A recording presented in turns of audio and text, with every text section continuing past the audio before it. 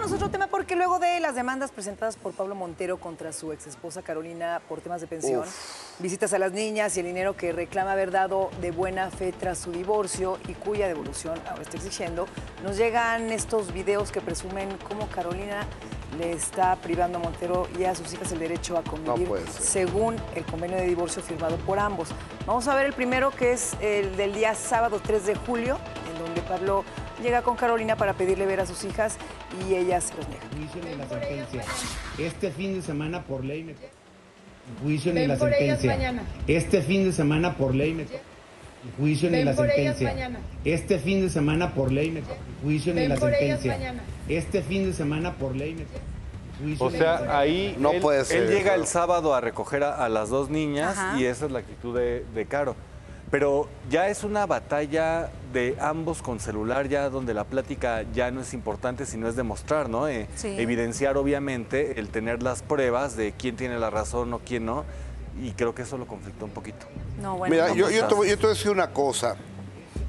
Si Pablo Montero está mostrando disposición de ver, de querer y de mantener a sus hijas, perdón, los problemas que tengan Carolina y, Montero, que lo resuelvan sin las niñas. o sea, sean maduros. Eso es para Carolina, ¿no? no para Montero. Claro, y bueno, es que presumiblemente en esto que estamos viendo era el cumpleaños de Carolina y hay una, hay, un, una cláusula que humaniza un tanto este convenio de separación en el que se habla de que sí, se van a ver tres, eh, el primero, el tercero y si hay un quinto eh, fin de semana del mes. Pero si alguno de los dos cumpleaños o alguien importante de la familia cumpleaños, ese fin de semana o ese día se respeta para que las niñas pasen tiempo con el cumpleañero o la cumpleañera. Sin embargo, al otro día, Pablo Montero pasa, pasa a ver a las niñas y vean ustedes cómo no le abren la puerta, al interior solamente se ve, pareciera que, tiene acceso, pero hay un vidrio y está la, hermana de Carolina sin responderle, pero eso sí, grabando. Veamos. Escondiéndolas.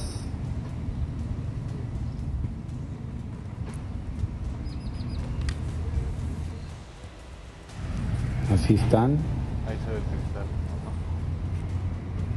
Con ese comportamiento negativo escondiéndolas.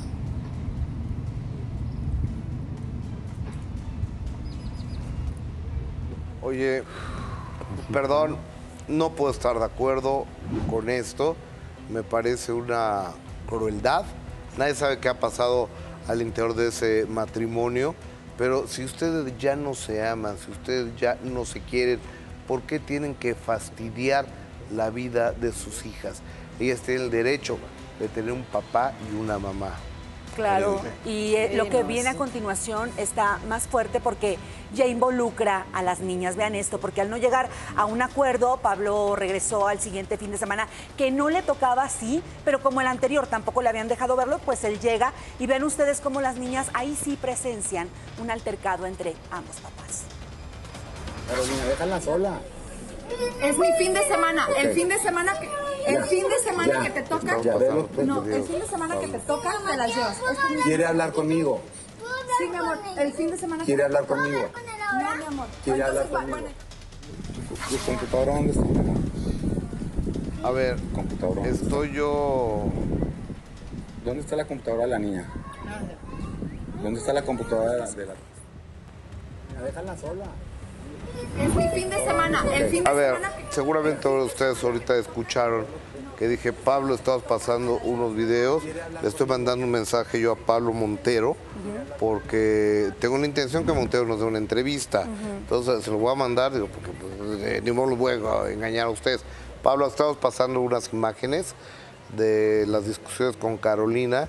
En mi punto de vista y de mis compañeros creemos que la razón te asiste a ti. Eh, danos una entrevista al aire, por favor.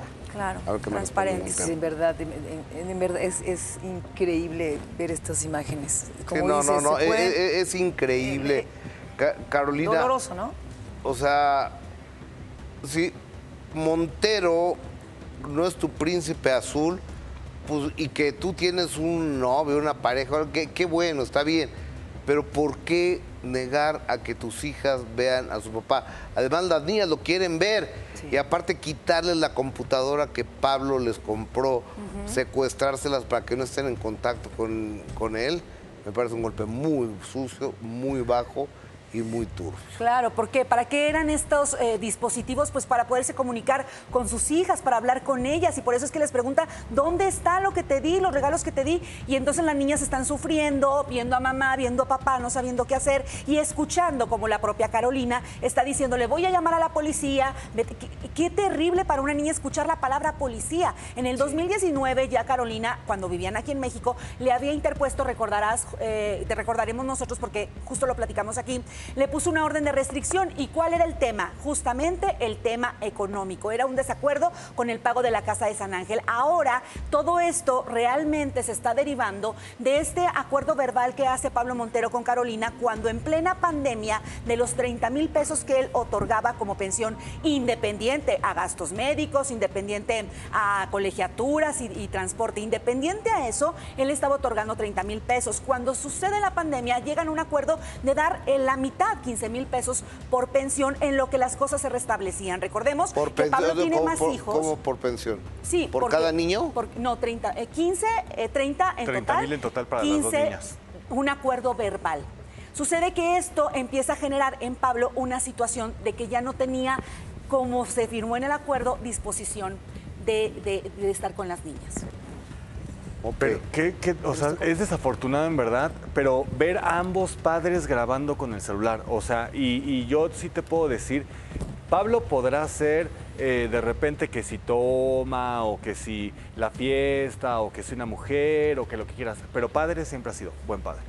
O sea, siempre ha demostrado esa parte, siempre ha estado pendiente de los hijos, lo hemos visto incluso como de repente hasta lo agarran por ahí porque saben que es su punto débil y es desafortunado, te digo, y, y de ambas partes, desafortunado que no puedan llegar a un acuerdo y que tengan que estar dialogando con un celular de frente para demostrar ambos quién dice la verdad, quién dice la mentira y que tengan que exhibir. Y como dice Adis, lo más grave, que las niñas estén presentes escuchando lo que hablen.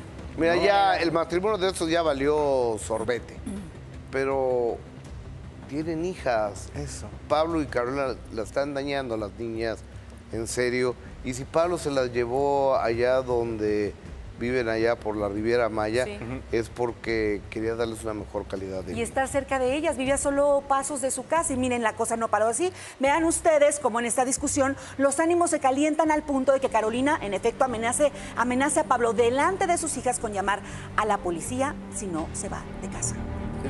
¿Vas a hablar con ellas el, fin de semana que te toca? Porque este fin de semana... Ok, nomás quiero aclarar por qué sus no, computadoras... No, no, vamos a aclarar. El fin de semana que les toca... Quiero saber dónde están sus computadoras. lo vas a hablar el fin de semana que le toca... Quiero saber, mi amor, dónde está tu computadora. Quiero saber, quiero saber dónde está tu computadora, dónde la metieron, mi amor. Tu computadora y tus regalos que te traje. Tu computadora la tiene tu mamá escondida. No la tengo yo. Tu mamá la tiene escondida y la de, y la de Dani también. les están haciendo un daño. Les están, les están haciendo un daño al decirles que... No, no, no. pero, o sea, tú ves las imágenes y, y, estás viendo que hay algo que se llama inteligencia emocional y la inteligencia emocional la está aplicando la niña.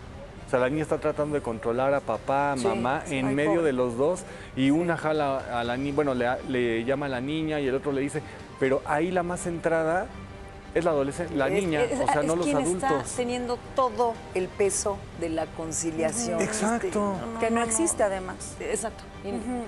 Así es. Lo sentimos, este, me parece, lo repito, lamentable penoso, vergonzoso, bochornoso, lastimoso, eh, todo esto.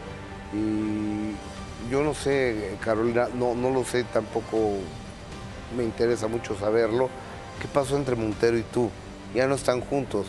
Entiendo que tú tienes un, un novio, seguramente Montero tendrá una novia, pero tienen dos hijas.